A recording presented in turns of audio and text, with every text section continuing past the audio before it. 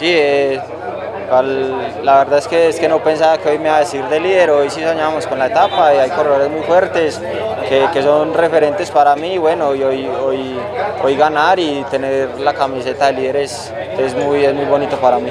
Kevin, vestir la camiseta de líder, hacer historia aquí en, en el alto de la línea, ¿se le pasó por la cabeza esta mañana?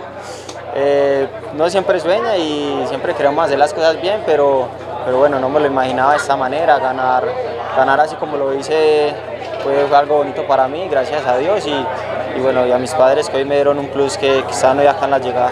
¿Creería uno que cada vez que ustedes van subiendo aquí al alto de la línea, van quitando ese, ese, esa, ese místico que tiene la línea, cada vez no se hace tan difícil o realmente sí fue tan dura como se ve?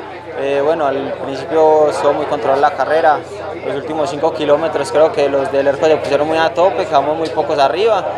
Y bueno, creo que hubo un momento de crisis para mí porque iba, iba muy, muy justo, pero bueno, al final es saber llevar, saber llevar esas crisis y tener, y tener una mentalidad buena para, para poder hoy conseguir esa victoria el día de hoy. Kevin, el desgaste de hoy que se hizo para la etapa de mañana, que también sigue siendo una de las más largas donde llegamos a Cristo Rey, una subida. No, bueno, vamos paso a paso, para eso nos preparamos y bueno, estoy un poco, poco estoy contento y creo que tener el amarillo me dará, me dará un plus para poder pasar estas etapas que vienen. Gracias, Kevin. Bueno, muchas gracias a ustedes. Gracias.